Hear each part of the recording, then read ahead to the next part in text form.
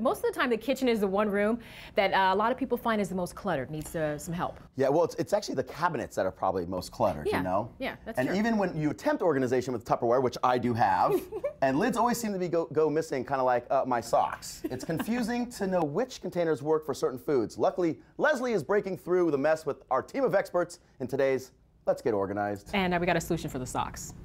You really? Mm-hmm. Nice. We do.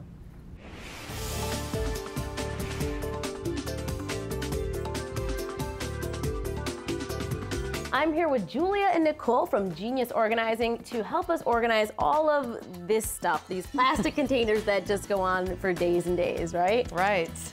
now, how often should we go through the cupboard?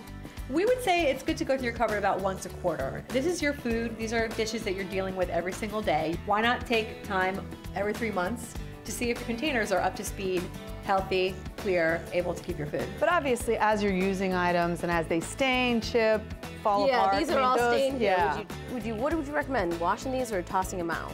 I say to be safe, you're gonna toss some of this Toss stuff. these. Yeah, let's toss. Okay. Now I know whenever I go to the grocery market, I, I pick up all these little containers or my salad in this, and you keep them to reuse. But how long should you keep reusing stuff like this? I'm gonna say th- something like this, which is a salad container, this has a one or two time shelf life. Something like this, which is a soup container, is a little bit nicer, and I think four or five goes with that.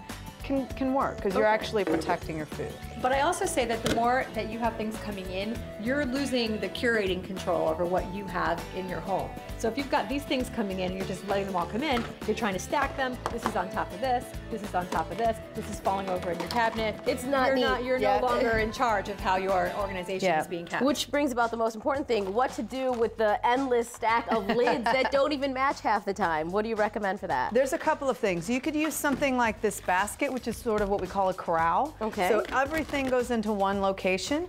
Also, you can use a bag like this, where I even get so anal as using a Sharpie and writing number A, or number one, or a letter A. Oh, that's beyond ordinary. That's why I do what I do. But that's and that's how when you have you have an F lid and you have no F bottom, then you're like, okay, well it's time for. F lid to go.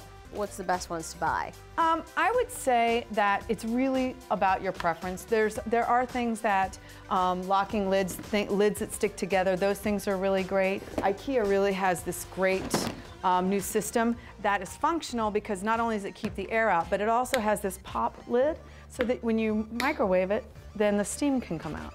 Glass is by far the best. Oh. So glass containers, things you can, something like this, which is more of a rectangle. I prefer a rectangle for stacking and keeping things in your cabinet. But the glass is better for you physically. Um, it's also better for the environment. It's easier to clean. It's prettier. You can take this from freezer to refrigerator to stove Yep. to table to Oh. dishwasher Yep. and back in. I think people love their plastic still, though. You know, I mean, they're not going to get rid of all of it, but this is a good addition. Well, plastic is really good if you want to separate. You can take plastic when you're taking things to work your mm-hmm. or your kids' lunches. You can use these for that, and then when you're doing your meals at home, you can go with the glass.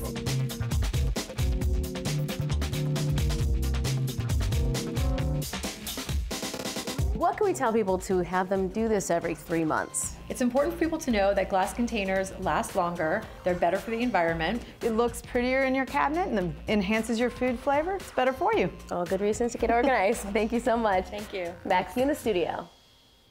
Thank you, Leslie. Just a reminder, we're not supposed to put plastic containers in the microwave. I hear the dishwasher is good, though. So glass containers may be your best bet.